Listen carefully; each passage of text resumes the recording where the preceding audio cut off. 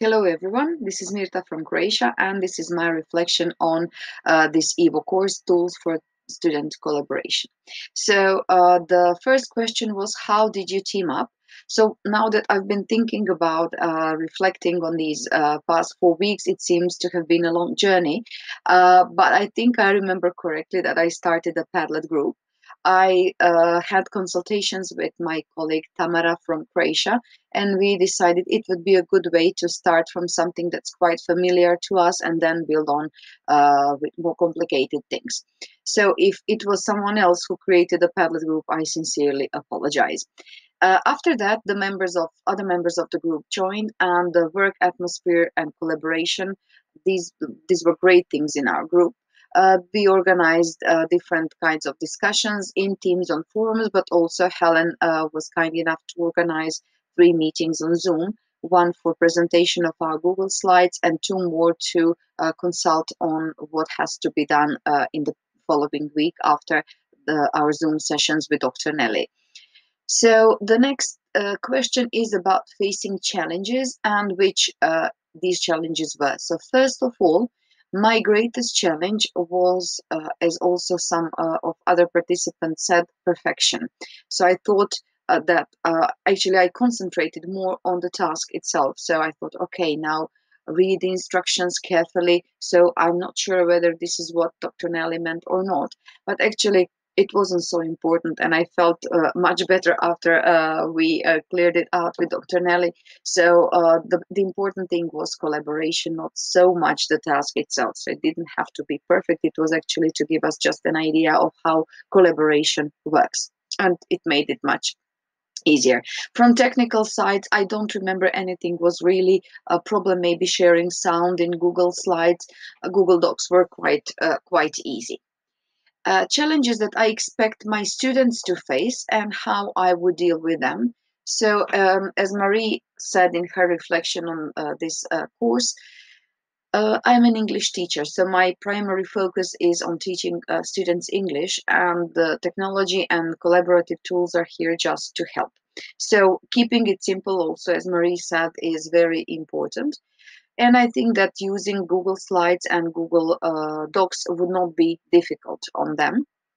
Since my students don't have uh, IT as a subject, I guess I will have to take over some responsibilities of an IT teacher. So show them in detail how something works. Now, um, if there are some things that I had problems with, it would be very good because I'll be able to point it out to them and say, okay, if it happens to you, you will deal with it in a certain way.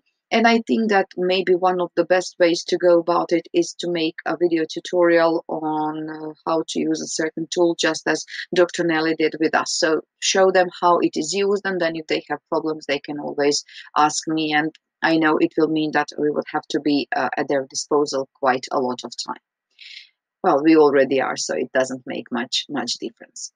What did you learn about yourself as you worked? So um, I learned actually not not much new, not many things that I uh, didn't know already, but I'm impatient.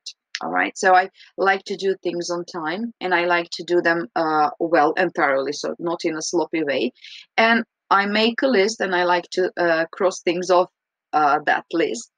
And this was not possible in some of the cases because people from our group uh, live in different time zones. So it needed some time and uh, we needed more um, patience for that also time management was something that frustrated me in this way and also uh, lots of emails that were arriving so i just wanted to check whether everything uh, was okay. But still impatience uh, and uh, one thing i enjoyed working in this group okay? So when you meet people who are willing to work who are willing to devote uh, their time and do their tasks uh, on time and well it's a it's a very good thing. So i'm glad to have been in such a group how will you use Google Slides, Docs, and Forms with students and listing activities? So I am already doing that. I've started implementing things that I've learned since we are online. Lots of these things can come in handy. So, for example, uh, two weeks ago, we were working on how to write an article for a magazine or a web page. So uh, after going through the rules and uh, analyzing some good examples, students were supposed to work in a group on a Google Doc and write this kind of um, article. They did it during an online lesson and later uh, these uh, documents were exchanged uh, among them. So it's good for collaborative work and also for peer assessment. So other groups could reflect on their writing and give them feedback. Also i used google docs last week in station learning. So each group was given a different task. So after 20 minutes, uh, the tasks were rotated, but each group had their Google Slides, so all the members could write the answers uh, in it uh, together at the same time. Google uh, Slides, for uh, for example, uh, I've already used them for a dictionary in one project, but also this year I'm going to use them for a yearbook with my senior students. and also Google Forms uh, for presenting, for example, and interpreting graphs uh, for assessment, which is also part of uh, things that we assess in English language teaching and learning. So yesterday I also had a task. So um, these things just come uh, unexpectedly. So we were working on a on a text, and then I said, "Wow, why why don't you make?" It was about how Mexico City uh, actually introduced uh, traffic-free Sunday. And the task was, do you think it would be a good idea to introduce it in your city? So I asked my students to write a short questionnaires uh, for, uh, I don't know, with five questions to see what people of the city think about such an idea. So I'll see how it goes. Uh, I explained it to them how to create Google Docs. They have already done it in their computer class, but still um, they have this class uh, one, uh, one, only one year, I think, during the secondary education uh, in my school. And uh, they said that they have already uh, done that, but I still made a short video tutorial to help them out with this. So uh, I wanted to say that this was a wonderful experience, cooperation and things we have learned, ideas we have shared.